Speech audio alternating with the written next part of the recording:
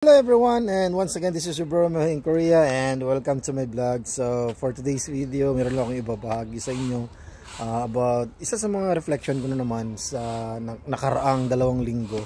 No, kasi parang hindi ako nakapag-post. Ayan, uh, sana ay meron tayong matutunan at kasi malaking bagay ang uh, natutunan ko doon sa mga na, naranasan ko sa buhay lalo na sa work so, lalo na dito sa Korea kasi iba yung kasama mo yung ibang lahi din at iba rin yung experience natin pag may kasama rin tayong mga kapwa nating uh, Pilipino sa trabaho. So anyway, so uh, work kasi namin is ako lang mag-isa yung Pilipino and uh, sa nakaraang dalawang linggo lagi akong ano, lagi ako nagrereklamo. Nagreklamo sa sa oras, na nagrereklamo sa trabaho. Yung bang parang lagi ko nireklamo bakit ako na lang laging gumagawa ng mga mahihirap na trabaho bakit sila uh, laging naka-standby tapos at lagi na lang naninigarilyo tapos parang ako lagi ang natatapos na una tapos parang ako lagi ang busy parang ganun lagi kong nirereklamo sa sarili ko. Although tapos ngayon dahil sa pagrereklamo ko na yun nagkakaroon ng epekto sa relationship ko sa mga Koreano. Minsan ayaw ko na silang kausapin. Minsan nagdadabog na ako dun sa loob ng uh, ng uh, container namin or opisina namin yung kumbaga doon kami nagpapahinga.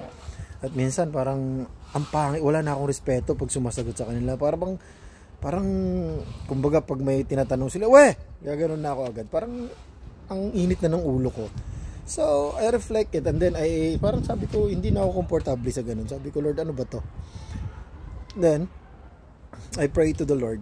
So, Lord, ano to, parang ang pangit, parang every time, na, pati yung work, uh, quality of my work is naapektuhan, pati yung work ethics ko na naapektuhan, lahat-lahat. So, parang ako, parang nagiging ano siya, nagiging burden sa sarili ako sa na, yung situation na yun parang pabigat sa sa akin kasi nga parang eh, parang ang bigat na talaga. So, ayun. So, sabi ko, Lord, uh, lumapit na agad ako sa Panginoon, Lord. Nag-pray na ako, Lord. Ano ba yung ano ba yung magandang gawin? Bakit ako nagaganito? Uh, so, pinarealize sa akin ng Panginoon na it is about complaining. But complaining, ang pagko-complain ko is mayroong dahilan. When I begin to compare myself to others, Then doon ako nagsimulang magreklamo ng magreklamo. Yan. So, kasi nga kinukumpara ko yung sarili ko sa kanila eh. And then I realized na doon pala nagsimula lahat ng mga reklamo ko. Nung nag-umpisa akong ihambing ang sarili ko sa kanila.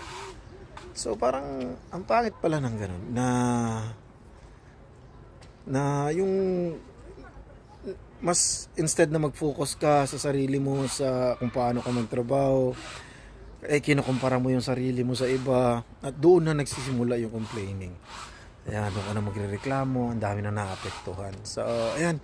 So parang sa buhay din natin bilang isang kristyano lahat minsan sa, sa paligid natin nag, nagrereklamo tayo but Lord siya na bless but uh, ako hindi.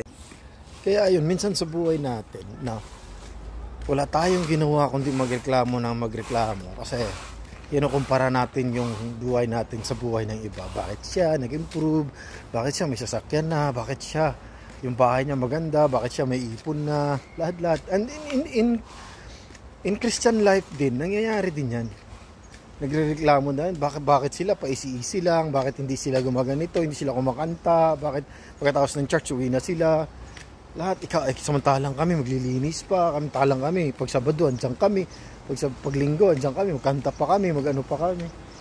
Kumbaga parang hindi ka na naging komportable tuloy sa buhay mo every time na pupunta ka sa church kasi ikinukumpara mo yung sarili mo sa iba. Ganun din sa trabaho. Hindi ka na tuloy komportable na magtrabaho kasi kinukumpara mo yung sarili mo sa iba. Pero nung nangyari yon at least binago ng Panginoon uh, tinulungan ako ng Panginoon. Na-realize ko yun. Then I started not to compare myself to them. I just like just uh, do my works hard work naging hardworking para at yun pala ay nakikita ng timjang namin. Alam pala ng timjang namin lahat yun. Sasabihin niya na alam ko alam ko ang nangyayari alam niya sa paligid. Kasi nung nag-usap kami at sinabi ko sa kanyang lahat alam ko.